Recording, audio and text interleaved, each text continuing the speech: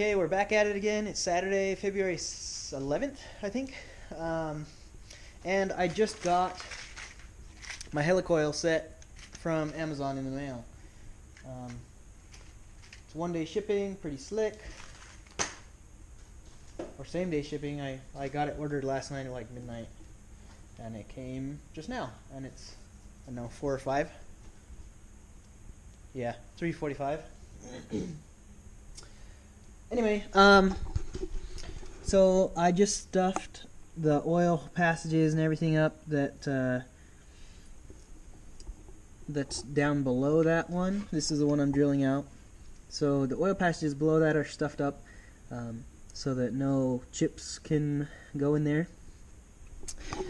And yeah, basically, um, little helicoils or helicoils. Uh, it's just a threaded insert. Uh, it comes with a tap, and so this one is an M6, which is the size of the bolts I'm using. Um,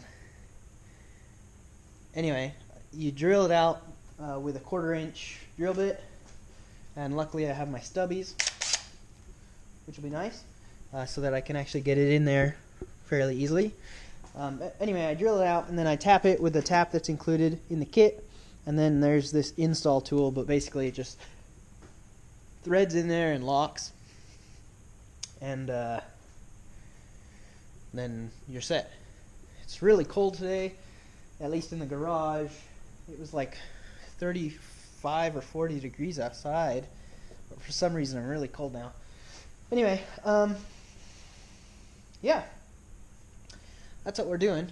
Um, so I will go ahead and get set up and we'll get started on it. Now the main thing with this, you want to be really sure that you're drilling perpendicularly into whatever you're drilling into. So I'm trying to just align myself really well and go for it.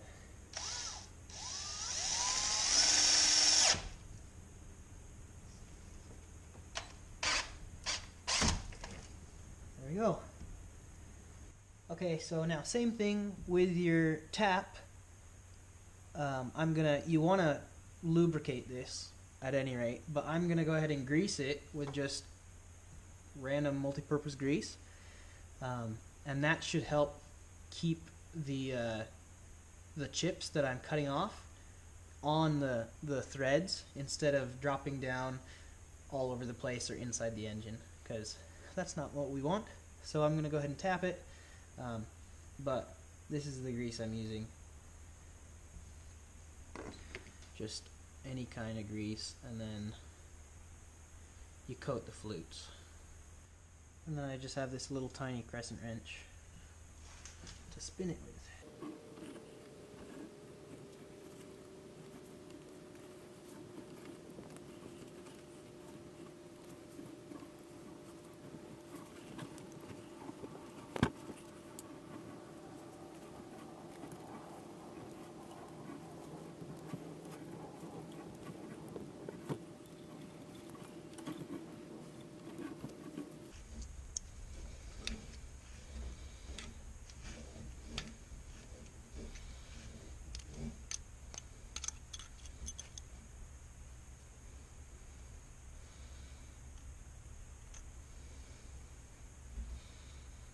So there you can see that the grease in the flutes kind of trapped all of those,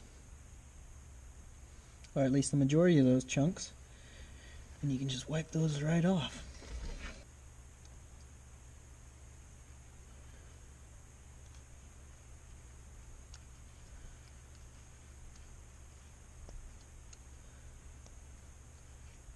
Now this install tool, it has kind of a lip on it right there and that lip kind of grabs on to the little lip that's on the inside and allows it to tighten.